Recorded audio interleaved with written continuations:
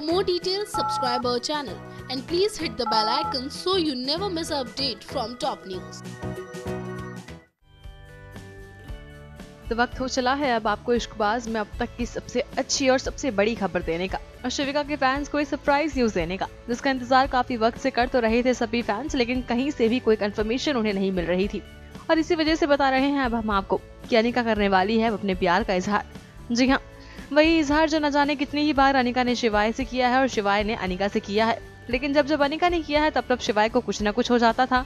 और जब जब शिवाय ने किया है, तब तब अनिका को कुछ ना कुछ हो ही जाता था। यानी कुल मिलाकर देखें तो अभी तक दोनों ने होशो हवास में ना ही ये शब्द सुने हैं, ना ही ये शब्द कहे हैं। तो अब देखने वाले हैं आपकी ऐसा होने वाला है बहुत ही जल्द। अब ये दोनों ही इश्कबाज करने जा रहे हैं अपने अपने प्यार का आगाज़, जो होगा बहुत ही ज़्यादा रोमांटिक स्टाइल में।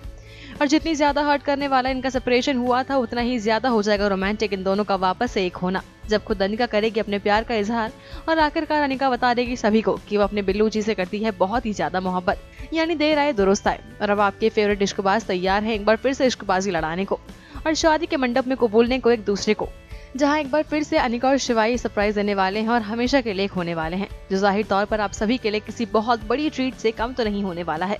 तो अब आई आपकी बारी। और बताइए हमें कि क्या कुछ कहना है आपका हमारी स्टोरी को लेकर। ज़रूर शेयर कीजिए हम अपने व्यूज़ अपने कमेंट्स के थ्रू और साथ ही सब्सक्राइब करना ना भूलें हमारा channel top news just for you जहाँ आपको मिलेगी इश्कबाज और साथ साथ इश्कबाज से जुड़ी हर लेटेस्ट खबर।